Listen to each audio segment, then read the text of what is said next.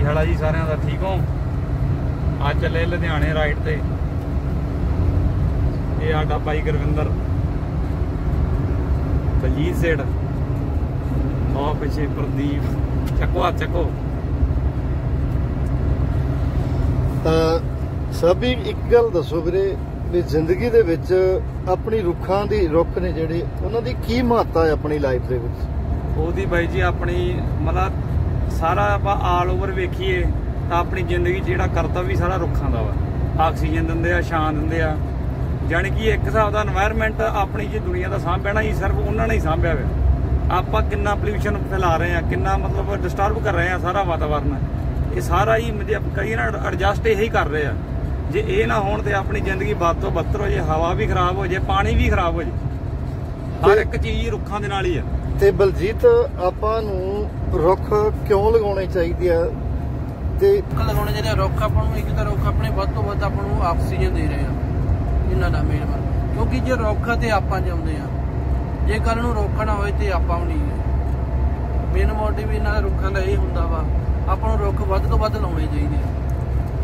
ਕਿਉਂਕਿ ਹਰ ਇੱਕ ਇਨਸਾਨ ਨੂੰ ਮੇਰੇ ਹਿਸਾਬ ਨਾਲ ਕਿਸੇ ਵੀ ਕੰਮ ਦੇ ਜਾਂ ਪ੍ਰੋਗਰਾਮ ਦੇ ਟਾਈਮ ਕਿਤੇ ਜਾ ਰਹੇ ਹੋ ਰਸਤੇ 'ਚ ਰੁੱਖ ਲਾਜ਼ਮੀ ਲਗਾਉਣੇ ਚਾਹੀਦੇ ਆ ਕਿਉਂਕਿ ਇਹਨਾਂ ਦੇ ਥੱਲੇ ਆਪਾਂ ਕਿਤੇ ਰਸਤੇ ਸਫ਼ਰ ਕਰ ਰਹੇ ਆ ਇਹਨਾਂ ਦੇ ਆਪਾਂ ਛਾਵੇਂ ਖੜ ਕੇ 10 ਮਿੰਟ ਰੈਸਟ ਵੀ ਕਰ ਲੂਗਾ ਬੰਦੇ ਨੂੰ ਫਿਰ ਪਤਾ ਲੱਗਦਾ ਵਾ ਜੇ ਆਪਾਂ ਰੋਡਾਂ ਤੇ ਜਾ ਰਹੇ ਆ ਤੇ ਆਪਾਂ ਨੂੰ ਕੋਈ ਰੁੱਖ ਨਾ ਮਿਲੂਗਾ ਤੇ ਆਪਾਂ ਇੱਕ ਬਾਈ ਜੀ ਫੈਕਟ ਹੋਰ ਆ ਐਮਾਜ਼ੋਨ ਦਾ ਦੁਨੀਆ ਸਭ ਤੋਂ ਵੱਡਾ ਜੰਗਲ ਆ ਜਿਹੜਾ ਠੀਕ ਹੈ ਜੀ? ਉਹਦਾ 40% ਆਕਸੀਜਨ ਦਾ ਹਿੱਸਾ ਉੱਥੋਂ ਆ ਰਿਹਾ ਸਾਰੀ ਦੁਨੀਆ ਨੂੰ ਸਾਰੀਆਂ ਦੁਨੀਆ ਨੂੰ। ਇਹ ਇਹ ਕਨਫੈਸ਼ਨ ਜੈਮ ਟੀਵੀ ਵਾਲਾ ਨਹੀਂ ਤੁਸੀਂ ਵੇਖੇ, ਜੈਮ ਟੀਵੀ ਵਾਲੇ ਉਹਨਾਂ ਨੇ ਕੀਤੀ ਆ ਬਾਈ ਜੀ। ਸਾਰਾ ਮਤਲਬ 40% ਹਿੱਸਾ ਆਕਸੀਜਨ ਦਾ ਆਪਾਂ ਨੂੰ ਐਮਾਜ਼ੋਨ ਜੰਗਲਾਂ ਤੋਂ ਆ ਰਿਹਾ। ਤੇ ਇਹਦਾ ਲੜੋ, ਕਿੰਨੀ ਮਹੱਤਤਾ ਇਹਦੀ। ਤੇ ਗੁਰਵਿੰਦਰ ਸਿੰਘ, ਤੁਸੀਂ ਆਪਣੀ ਮੋਟਰ ਦੇ ਉੱਤੇ ਦੇਖਿਆ ਸੀ, ਬੜਾ ਆਨੰਦ ਮਿਲਿਆ। ਬੜੇ ਸੋਹਣੇ ਉੱਥੇ ਦਰਖਤ ਲੱਗੇ ਸੀ। ਕੁਦਰਤ ਦਾ ਇੱਕ ਮੁਸਜਮਾ ਸੀ। ਤੁਸੀਂ ਇੰਨੇ ਦਰਖਤ ਕਿਉਂ ਲਗਾਏ? ਤੇ ਕਿਹੜਾ ਓਰੀਜਨ ਸੀਗਾ ਕਿ ਜਿਹਨੇ ਤੁਹਾਨੂੰ ਪ੍ਰੇਰਿਤ ਕੀਤਾ ਕਿ ਆਪਾਂ ਨੂੰ ਮੋਟਰ ਦੇ ਉੱਤੇ ਦਰਖਤ ਲਗਾਉਣੇ ਚਾਹੀਦੇ? ਆਪਾਂ ਇੱਥੇ ਬਾਈ ਰੁੱਖ ਲਾਏ ਆ, ਇੱਕ ਤਾਂ ਆਪਾਂ ਜਾ ਕੇ ਬਈਦਾ ਕਿ এনवायरमेंट ਚੰਗਾ ਲੱਗਦਾ ਕਿ ਆਪਾਂ ਨੂੰ ਵਧੀਆ ਲੱਗਦਾ ਬਹਿਣ ਚ। ਰੁੱਖਾਂ ਨਾਲ ਇੱਕ ਤਾਂ ਆਪਾਂ ਨੂੰ ਹਵਾ ਵਧੀਆ ਮਿਲਦੀ ਆ, ਤਾਜ਼ੀ ਮਿਲਦੀ ਆ, ਠੰਡੀ ਮਿਲਦੀ ਆ। ਬਾਕੀ ਜਿਹੜੇ ਜੀਵ ਜੰਤੂ ਆ, ਉਹਨਾਂ ਦਾ ਇੱਕ ਰਹਿਣ ਬਸੇਰਾ ਰੁੱਖ ਆ। ਕਿ ਆਪਾਂ ਜੇ ਰੁੱਖ ਕੱਟਦੇ ਆ ਜਾਂ ਵੱਢਦੇ ਆ, ਨਹੀਂ ਲਾਉਂਦੇ, ਤਾਂ ਆਪਾਂ ਇੱਕ ਉਹਨਾਂ ਦਾ ਘਰ ਖਤਮ ਕਰਦੇ ਜੇ ਆਪਣਾ ਕੋਈ ਘਰ ਖਤਮ ਕਰਦਾ, ਆਪਾਂ ਨੂੰ ਕਿਦਾਂ ਦਾ ਲੱਗਦਾ? ਇਸ ਕਰਕੇ ਵੀ ਆਪਾਂ ਨਾਲੇ ਜੀਵ ਜੰਤੂਆਂ ਦੀ ਹੈਲਪ ਕੀਤੀ ਆ, ਨਾਲੇ ਆਪਦੀ ਆਕਸੀਜਨ, ਨਾਲੇ ਸਾਰਿਆਂ ਨਾਲੇ ਛਾਂ।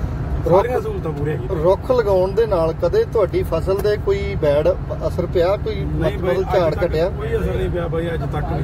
ਫਿਰ ਕੀ ਮੈਸੇਜ ਦੇਣਾ ਚਾਹੁੰਦੇ ਹੋ ਰੁੱਖ ਲੋਕਾਂ ਨੂੰ? ਲੱਗਣ ਦਾ ਇਹ ਫਾਇਦਾ ਕਿ ਉਹ ਰੁੱਖ ਉਹਦੇ ਵਿੱਚ ਫਲਦਾਰ ਵੀ ਆ ਜਿਹਦੇ ਵਿੱਚ ਜਾਮਨੂ ਅੰਬ ਆ ਉਹ ਆਪਾਂ ਨੂੰ ਆਈ ਵਾਰ ਫਲ ਦਿੰਦੇ ਆ। ਉਹ ਬੈਨੀਫਿਟ ਆਪਾਂ ਨੂੰ ਕਿੰਨਾ ਦਿੰਦੇ ਕਿ ਫਲ ਦਿੰਦੇ ਆ ਜਿਹਦੇ ਨਾਲ ਕੋਈ ਖਾਂਦਾ ਜਾਂ ਕੋਈ ਕਿਸੇ ਚੀਜ਼ ਦੀ ਵਰਤਦਾ ਉਹ ਹਰ ਇੱਕ ਇਨਸਾਨ ਨੂੰ ਫਾਇਦਾ ਹੁੰਦਾ ਕਿਸੇ ਨਿੱਕੇ ਨੂੰ ਵੱਡੇ ਨੂੰ ਉਸ ਚੀਜ਼ ਦਾ ਕੋਈ ਨੁਕਸਾਨ ਨਹੀਂ ਆਪਾਂ ਕਹਿੰਦੇ ਆ ਵੱਧ ਤੋਂ ਵੱਧ ਹਰ ਬੰਦਾ ਰੁੱਖ ਲਾਵੇ। ਜ਼ਿਆਦਾ ਤੋਂ ਜ਼ਿਆਦਾ ਨਹੀਂ ਲਾ ਸਕਦਾ, ਇੱਕ ਦੋ ਤਾਂ ਲਾ ਹੀ ਸਕਦਾ ਨਾ। ਗੱਲ ਕਰਦੇ ਆ ਵੀ ਕੁਦਰਤ ਦੇ ਵਿੱਚ ਜਿਹੜੀ ਕੁਦਰਤ ਦੀ ਬਹੁਤ ਵੱਡੀ ਯੋਗਦਾਨ ਆ ਆਪਣੀ ਜ਼ਿੰਦਗੀ ਨੂੰ ਬਚਾਉਣ ਦੇ ਲਈ, ਔਰ ਜਿਹੜਾ ਇਹ এনवायरमेंट ਆ, ਔਰ ਇਹ ਜਿਹੜਾ ਪਾਣੀ ਆ, ਇਹ ਦਰਖਤ ਆ, ਇਹ ਆਪਣੀ ਜ਼ਿੰਦਗੀ ਦਾ ਇੱਕ ਹਿੱਸਾ ਏ।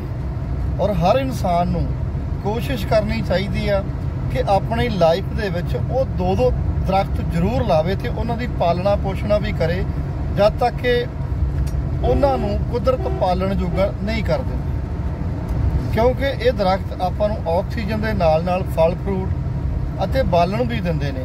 ਕਿੰਨੇ ਜੀਵ ਜੰਤੂ ਤੇ ਪੰਛੀ ਨੇ ਜਿਨ੍ਹਾਂ ਦੇ ਆਲਣੇ ਉਹ ਦਰਖਤਾਂ ਦੇ ਉੱਤੇ ਆ।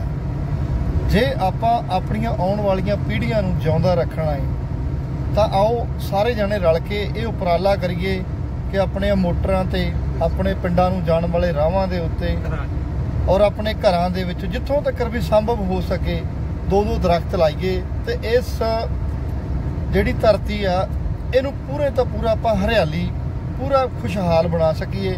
ਜੇ ਇਹ ਖੁਸ਼ਹਾਲ ਹੋਊਗੀ ਤਾਂ ਜਿਹੜੇ ਇੱਥੇ ਵਸਣ ਵਾਲੇ ਲੋਕ ਆ, ਉਹ ਵੀ ਖੁਸ਼ਹਾਲ ਹੋਣਗੇ। ਸਤਿ ਸ਼੍ਰੀ ਅਕਾਲ।